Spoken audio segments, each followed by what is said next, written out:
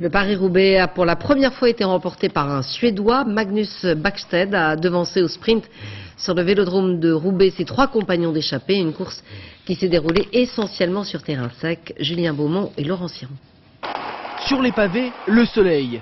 Mais méfiance car même sec, le Paris-Roubaix reste dangereux. Et cette 102e édition n'a pas dérogé à la règle. Des chutes, des crevaisons et un absent de marque, Cofidis. L'équipe s'est retirée car elle est en ce moment éclaboussée par une affaire de dopage.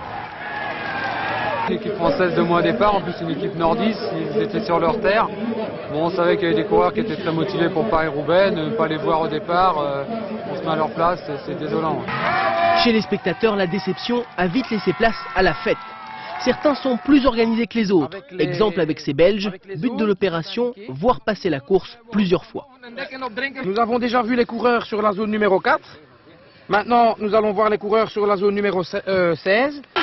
À peine les coureurs passés, c'est la course pour aller le plus vite possible au prochain secteur. Une course dans la course que ne verront pas les 177 engagés.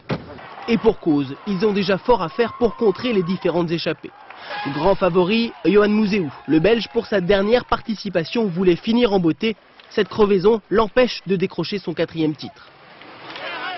À l'entrée du vélodrome, après 260 km, dont 50 de pavés, 4 hommes se détachent.